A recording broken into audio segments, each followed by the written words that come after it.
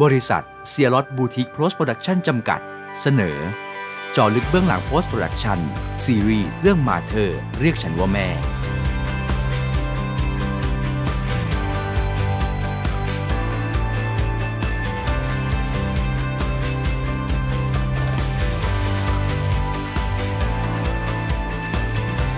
ซีรีส์เรื่องนี้ได้รับความร่วมมือและไว้วางใจจากบริษัท JSL Global Media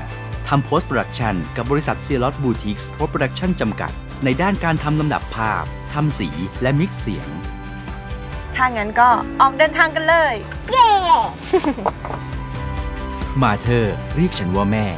เป็นซีรีส์ที่บอกเล่าเรื่องราวความรักอันบริสุทธิ์งดงาม กับการเสียสละทำหน้าที่แม่ ของผู้หญิงคนหนึ่งเพื่อปกป้องลูกศิษย์ให้ปลอดภัยจากความรุนแรงในครอบครัว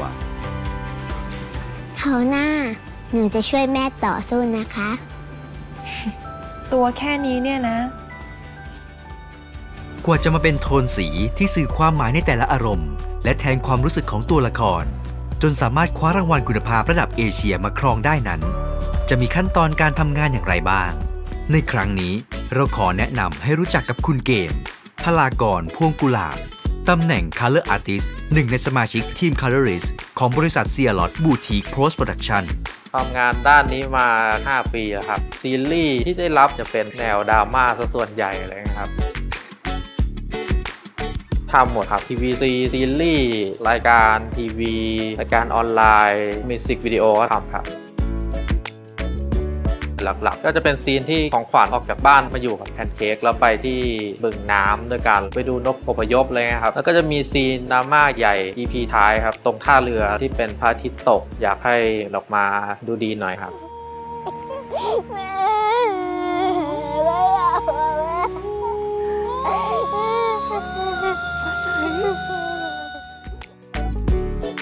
ที่ชอบก็น้องมากิของขวัญ เป็นตัวละครที่เจออะไรมาหลายอย่างแสดงดีด้วยครับ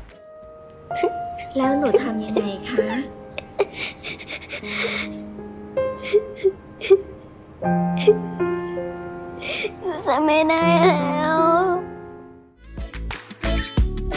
ลงานอื่น ถ้าเป็นซีรีส์มีทีบ็อกครับไทยชลากับหมาบ้า ถ้าเป็นรายการทีวีมีไอออนเชฟเชฟกระทะเหล็กครับ แล้วก็มาสเตอร์เชฟก็ฝากติดตามด้วยครับสุดท้ายนี้ก็ฝากออฟฟิศของพวกเราเลยครับเซียร์ล็อตที่นี่ทำทุกอย่างของโพสต์โปรดักชันอยากทำงานด้านไหนเกี่ยวกับงานโพสต์มาที่นี่ได้ครับ ที่เดียวจบครับ